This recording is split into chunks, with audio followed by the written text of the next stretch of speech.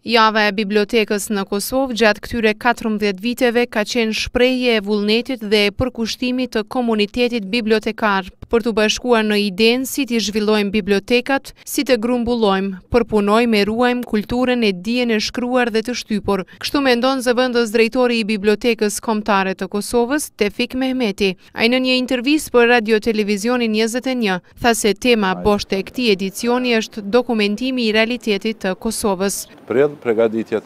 janë thujse në përfundim e sipër, si e veçantë është ekspertja si gjithëherë që vjen nga Shtetet e Bashkuara të Amerikës me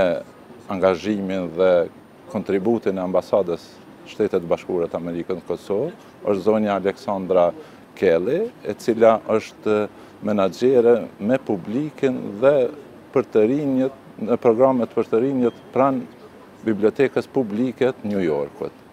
Sepse si temë bosht e kina në këtë edicion është dokumentimi i realitetit në Kosovë dhe gjitha temat do të sillen rreth kësaj teme.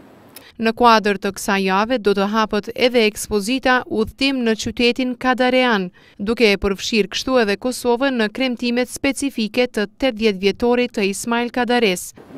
Ditën e hapjes është edhe një ekspozitë meqenëse Shqipëria ka shpallë vitin e Kadaresë, ata kanë